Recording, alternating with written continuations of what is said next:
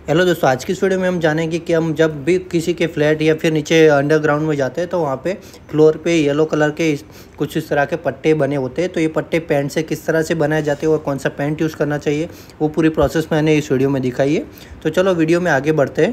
तो सबसे पहले जब भी हमें ऐसा कुछ काम करना है फ्लोर के अंदर पेंट करना है तो हमें फ्लोर को अच्छे से साफ़ करना होता है। साफ़ करना ही दोस्तों पेंट करने की प्रिपरेशन ही है क्योंकि आप साफ़ नहीं करोगे तो जो पेंट लगाएँगे वो डस्ट या फिर धूल मिट्टी के कारण जो फ्लोर है उसके ऊपर अच्छे से पकड़ नहीं बनाएगा और फिर पेंट निकल जाता है।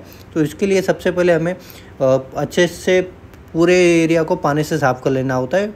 पानी से साफ़ करने के बाद इसके ऊपर हमें पेंट करना होता है। पेंट करने के लिए आप यहाँ पे देख सकते हो, हम तारालेक कंपनी का रोड मार्किंग पेंट यूज़ करने वाले येलो कलर का होता है, कई बार आपने देखा होगा, जो रोड होता है उसके ऊपर येलो कलर के पट्टे होते हैं या फिर वाइट कलर के होते हैं तो हमने ये यहाँ पे येलो कलर का लिया है। और उसके बाद आप देख सकते हो ब्रश और हमने थिनर लिया है। आगे हम दिखाएँगे कि किस तरह से कौन सा थिनर भी हमने लिया है। तो दोस्तों, सबसे पहले जब भी हम पेंट खोलते हैं तो सबसे पहले हमें एक ही काम करना होता है कि जो पेंट है, उसे अच्छे से मिक्स करना होता है, यानी कि उसे अच्छे से हिला देना होता है। हिलाने के लिए आप लकड़ी या फिर कुछ ऐसा ले सकते हो ऑब्जेक्ट जिसकी वजह से आप अच्छे से हिला सको। तो दोस्तों क्योंकि ये कलर बहुत ज़्यादा गाढ़ा आता है तो इसके अंदर हमें पतला करने के लिए थिनर भी ऐड करना होता है।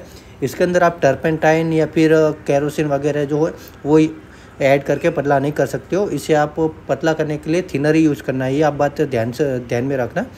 दोस्तों, आप देख सकते हो ये कितना गाढ़ा है। अभी हम इसके अंदर आपको दिखाएँगे, एक लीटर के अंदर तकरीबन ये 800 सौ जितना थिनर चला जाता है, तभी ये हमारे गन में या फिर ब्रश में चलाने लायक हो जाता है। मैंने गन से यूज़ किया है इलेक्ट्रिक गन यूज़ करके मैंने आपको ये दिखाया है पूरा काम करके।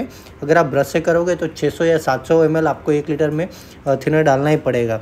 इस हिसाब से आप अच्छे से पहले पेस्ट बना लेना और फिर अप्लाई करना स्टार्ट करना। अप्लाई कैसे करना है वो मैं आपको आगे दिखाऊँगा। एग्जैक्ट लाइन कैसे लानी है पट्टे की वो सब मैंने डिटेल में दिखाया है।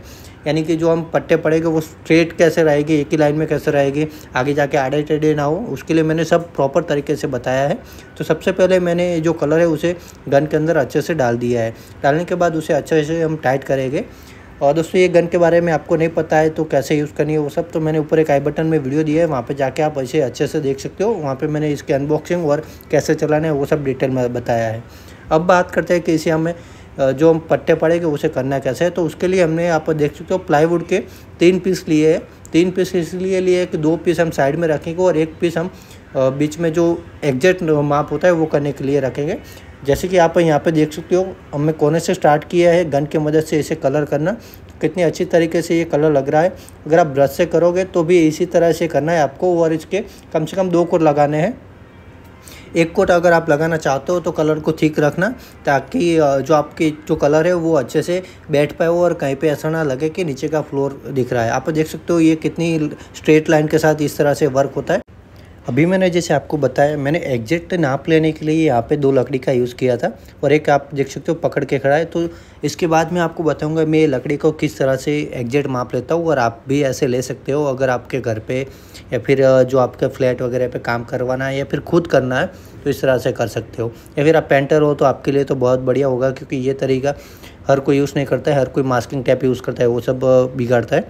तो दोस्तों, इसके लिए मेरे जो टाइल्स के लाइन्स होते हैं, वो पहले से स्ट्रेट ही होते हैं, क्योंकि टाइल्स डाली हुई है।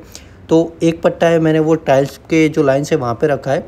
और जो हम खड़े रह के बाजू में ऐसे हमने साइड में किया, वो पट्टा बीच में रखा था और तीसरा पट्टा हमने, यानी कि तीनों को साइड में ऐसे फैला दिया था और बीच में से एक पट्टा हटा लिया। तो वही पट्टा हमें एग्जैक्ट नाप से मिलेगा और इसी तरह से हमें पूरे लाइन खींचा है तो आप देख सकते हो बाजू वाली लाइन भी एग्जैक्ट स्ट्रेट लाइन वही आ रही थी, कहीं पर ऐसा नहीं लग रहा था हमें। कि थोड़ा मोटा या फिर थोड़ा पतला लाइन्स आ रहा है। सेम ही लाइन पूरे स्ट्रेट सब जगह के आती है, जैसे कि आप यहाँ पे देख सकते हो, पूरी स्ट्रेट लाइन ही ये इतना लंबा पट्टा हमने किया था, ये तकरीबन पंद्रह फीट था, फिर भी हमने स्ट्रेट लाइन आपको मिला है, वैसा देख सकते हो। अब दोस्तों मैं आपको बताता हूँ, जो ये टू व्हीलर और फोर व्हीलर है, उसकी जो मेज़रमेंट है, वो किस तरह से हमने लिया था, ताकि अच्छे से व्हीकल उसके अंदर पार्क हो सके। तो टू व्हीलर के हमने सेवन बाई थ्री फीट का लिया था, और अगर आप फोर व्हीलर चाहिए तो वो दस बाई आठ फीट का हमने साइज़ लिया था, उस हिसाब से हमने पूरा कवरेज बनाया था। और ये बॉक्स के अंदर आप आसानी से टू व्हीलर या फिर फोर व्हीलर कितनी भी लंबी हो, आराम से आ जाती है। तो दोस्तों, आज के लिए बस इतना ही। ये वीडियो पसंद आया है आपको तो वीडियो को प्लीज़ लाइक करना, अपने दोस्तों के साथ शेयर करना, और हो सके तो चैनल को सब्सक्राइब भी कर देना। तो बस यही था दोस्तों। आगे आप क्या देखना चाहते हैं वो हमें कमेंट करके बताना। हम उसके ऊपर पूरी कोशिश करेंगे कि वीडियो लाए। तो दोस्तों, मिलते हैं अगले वीडियो में। तब तक के लिए बाय बाय अपना ध्यान रखना।